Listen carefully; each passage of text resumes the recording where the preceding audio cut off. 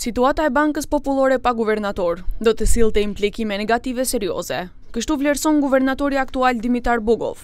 Ai tha se shpreson që të arrihet marrëveshje me konsensus për guvernator para 21 majit, sepse sipas tij, disa përgjegjësi janë vetëm të guvernatorit dhe nuk mund të barten tek dikush tjetër.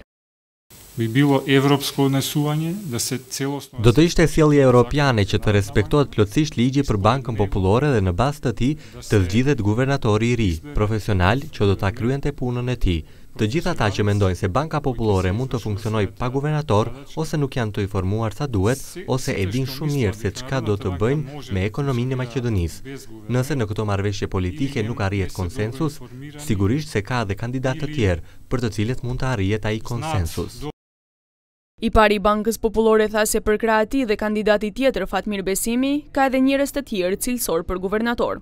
Zëdhënësi i Qeverisë, Mile Boshnjakovski tha nga ana tjetër se në seancën qeveritare nuk është diskutuar për pozitën e guvernatorit. Qeveria nuk ka diskutuar në kuadër të seancës qeveritare për këtë çështje, sepse nuk është në korniza të proceseve që zhvillohen në aktivitetet programore të Qeverisë. Nga partitë politike deri më tani me kandidat potencial ka dalë vetëm Bashkimi Demokratik për Integrim. Bëhet fjalë për ish-ministrin e Ekonomisë dhe ish-zëvendëskryeministrin Fatmir Besimi. Lajmin për Televizionin njëzet e një e konfirmoi deputeti i kësaj partie Xhevat Ademi. Nga BDI shprehen se nuk e mbështesin propozimin e Ivanovit. Nga LSDM dhe VMRO-DPMNE ende nuk janë prononcuar në lidhje me këtë çështje. Ndryshe, Bogov u zgjodh si guvernator në muajin mars të vitit dy mijë e njëmbëdhjetë me gjashtëdhjetë e dy votat e vetme të VMRO-DPMNE-së në këtë post është për shtatë vite.